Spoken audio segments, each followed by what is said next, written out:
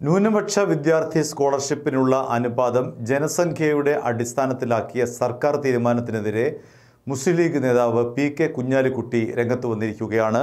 മുസ്ലിം സമുദായത്തിന് ലഭിച്ചിരിക്കുന്ന ആനുകൂല്യത്തെ കേരള സർക്കാർ ഇല്ലാതാക്കിയെന്നാണ് പി കെ കുഞ്ഞാലിക്കുട്ടി ഇന്ന് മാധ്യമ സമ്മേളനത്തിൽ പറഞ്ഞത്.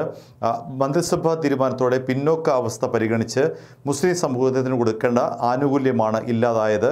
മറ്റ് സംസ്ഥാനങ്ങൾ കൊടുക്കുന്ന ആനുകൂല്യമാണ് കേരളം ഇല്ലാതാക്കിയത്. പിന്നോക്ക അവസ്ഥ എന്ന മാനദണ്ഡമേ ഇല്ലാതെയായി. ന്യൂനപക്ഷത്തിന് പ്രത്യേക സ്കീമായിരുന്നു ഉചിതം.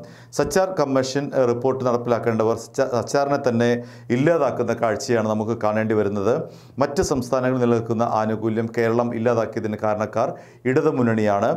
സച്ചാർ കമ്മിറ്റി ശുപാർശ ചെയ്തത് അനുസരിച്ചുള്ള സ്കീം നിലനിർത്തിയ ശേഷം മറ്റുള്ളവർക്ക് പ്രത്യേക സ്കീമായിരുന്നു ഉചിതം. ഇക്കാര്യം സർവകക്ഷി യോഗത്തിൽ താൻ മുഖ്യമന്ത്രിയോട് ആവശ്യപ്പെട്ടിരുന്നു. സമുദായങ്ങളെ തമ്മിലടിപ്പിക്കുന്ന ഈ തീരുമാനം വളരെ ഗൗരവമുള്ളതാണ്. കോടതി വിധി അനുസരിച്ചു എന്നാണ് സർക്കാർ പറയുന്നത്.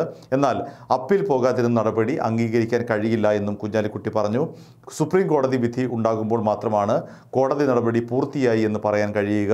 ശക്തമായ പ്രതിഷേധം ഉയർന്നു വരുമെന്നും നിയമസഭയിലും ഇക്കാര്യം ഉന്നയിക്കുമെന്നും കുഞ്ഞാലിക്കുട്ടി അറിയിച്ചു. ഹൈക്കോടതി വിധി അനുസരിച്ച് രണ്ടായിരത്തി പതിനൊന്നിലെ സെൻസസ് പ്രകാരം ജനസംഖ്യാ അടിസ്ഥാനത്തിൽ ഒരു കമ്മ്യൂണിറ്റിക്കും ആനുകൂല്യം നഷ്ടപ്പെടാതെ സ്കോളർഷിപ്പ് അനുവദിക്കുമെന്നാണ് സംസ്ഥാന സർക്കാർ പറയുന്നത്.